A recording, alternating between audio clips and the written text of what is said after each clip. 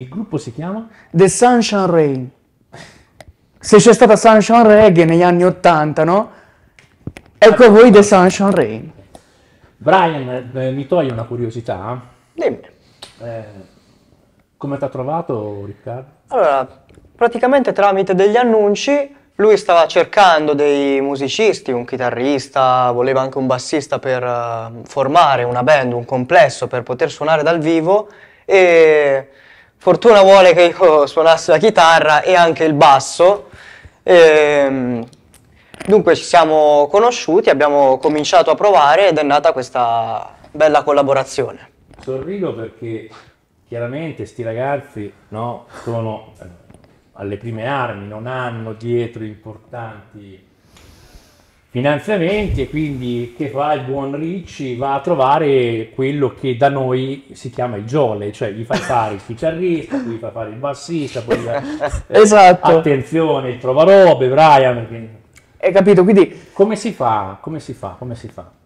Cioè, da, da chitarrista a bassista, che fa? Lascia la chitarra in un certo asso, poi ne prende il basso, poi riprende la chitarra, Ma noi, poi, poi ti tira tutti gli strumenti perché gli accidenti che ci siamo conosciuti. allora, per sopportarmi Non è non è assolutamente semplice, questa è la cosa, Brian l'ha, l'ha constatata nella sua pelle, no, ma eh, per me è come un fratello, nel senso è nata un'amicizia da quando ci siamo conosciuti profondissima.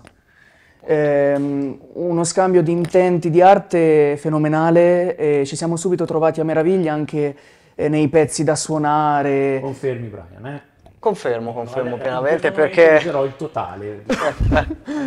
E quindi ecco, mh, anche gli artisti stessi, cioè nel senso le prove, da quando ci siamo conosciuti è tutto filato alla grande, nel Vi senso, siete conosciuti quanto tempo fa? ma ormai ad Eh, agosto. quest'estate, sì, ad Sì, agosto. sì, a fine agosto ci siamo conosciuti, per la prima volta ci siamo visti a settembre e la prima prova è stata, Brian, la seconda, sì, la seconda Sì, settimana di settembre. La seconda settimana di settembre, quindi praticamente abbiamo iniziato subito con tantissime insidie e soprattutto anche con un problema davanti, perché eh, Brian sta a Monte San Savino, io sono di San Sepolcro, quindi ecco la vicinanza non esiste e per provare abbiamo fatto tanto e soprattutto io mi sono mosso per andare a trovare a lui per provare nella cantina di casa Mugnai che ha fatto nascere questo grande progetto, grande. Eh, io sono sempre ottimista sotto questo aspetto perché dico sempre è grande ma non è piccolo, poi il tempo e le serate e poi anche i live che faremo in futuro dimostreranno se sarà eh, un qualcosa di proficuo oppure se sarà come diciamo noi un bluff, ma io Perché deve essere un bluff? Qualcosa ma perché eh, io tengo sempre aperte due porte, nel senso la porta quella positiva è che lui ed io ci troviamo a meraviglia anche dal punto di vista collaborativo artistico, perché se in un gruppo c'è sempre la figura del frontman davanti, no? Eh, qui non c'è il frontman. Siamo io e lui che praticamente, ecco, comandiamo a vicenda, nel senso non è che il È un cantante... po' come Luna Pop con Cremonini e ba- come ballo, come si chiamava quello di Luna Pop? Oddio, ora mi sfugge.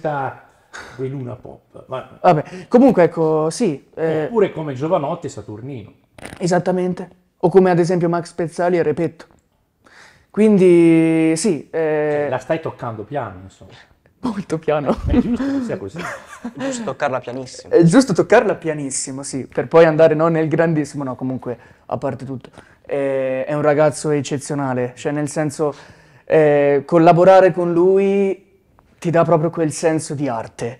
E poi anche gli stessi gusti, condividere, parlarci, capirci anche nei momenti quelli difficili, perché poi noi abbiamo iniziato ad agosto a sentirci tramite Meet, quindi ecco dal punto di vista online. La prima volta ci siamo visti a casa tua, Brian. Sì.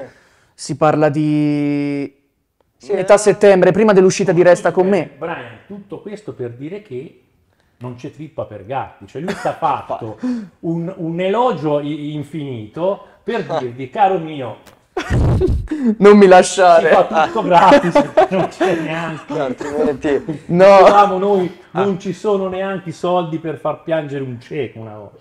Senti Brian, vi siete conosciuti? Il primo impatto qual è stato?